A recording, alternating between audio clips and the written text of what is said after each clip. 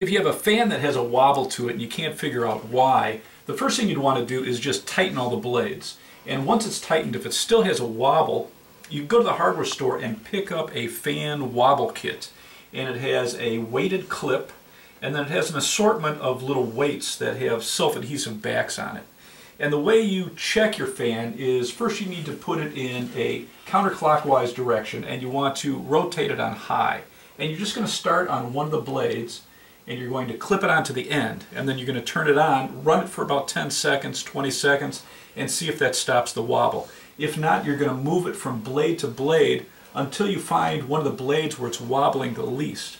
And then once you find a blade where it looks the best, you're actually going to start working down the blade and turning the fan on and you're just going to keep moving this until you find a position where it, it, there's no more wobble.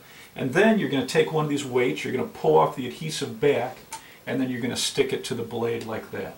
And then you're going to remove your clip. So it's very easy to use. It's a, a very simple product. So if you have a fan that's wobbling, it's a very easy fix.